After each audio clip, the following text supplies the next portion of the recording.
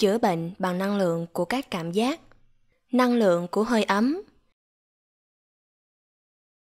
Hãy chọn thời gian khi mà bạn không bị ai quấy rầy, nằm hoặc ngồi sao cho thoải mái nhất, không đặt chân tay lên nhau, thả lỏng và nhắm mắt. Hãy đưa tất cả sự chú ý của mình xuống hai bàn chân. Hãy tưởng tượng bạn đang nằm trên bờ biển dưới ánh nắng nóng, nhưng toàn bộ cơ thể bạn được che bởi ô, chỉ có hai bàn chân là ở ngoài nắng. Cũng có thể tưởng tượng bạn đưa chân ở gần lò sưởi về phía ngọn lửa, hay bỏ chân vào chậu nước nóng. Hãy cảm nhận thật sự dòng hơi ấm đưa dần lên cao theo chân của bạn. Sau đó cũng làm như thế với tay về lợi ích của bài tập. Sau một vài lần tập luyện, bạn sẽ thấy cảm giác càng ngày càng rõ rệt. Mặt trời hay ngọn lửa trong tưởng tượng đã cho ta hơi ấm thật sự vào tứ chi và làm cho các mạch máu hoạt động tốt lên. Cảm ơn bạn đã lắng nghe. Mời bạn đăng ký kênh để nhận được thông báo các video mới nhất nhé. Mình chúc bạn thật nhiều sức khỏe và an vui.